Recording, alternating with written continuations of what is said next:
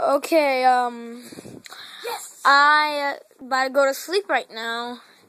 As you can see, you guys are actually looking at my face, and there's Binky, uh, looking like an evil maniac.